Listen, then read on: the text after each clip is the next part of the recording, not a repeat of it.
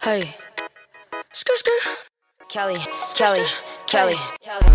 Uh, hey, uh, hey. Okay, so did you accidentally dye those first few little hairs on your lace front blonde from bleaching your knots? Don't worry, I got you covered. I've done that many a time. So this is my method that I use. So I use a semi-permanent dye um, because that's just what I have in the house. So I use a semi-permanent dye and I'm actually scared to use a permanent dye.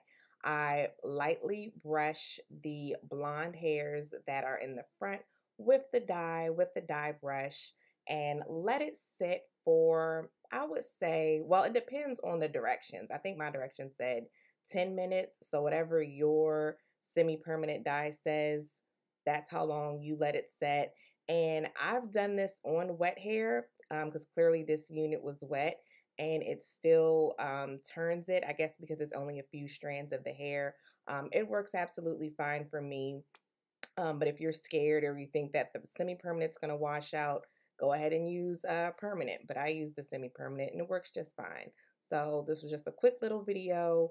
Um, hope this helps you guys. Like I said, it happens to us all. So I'll see you guys later on another video. Bye-bye.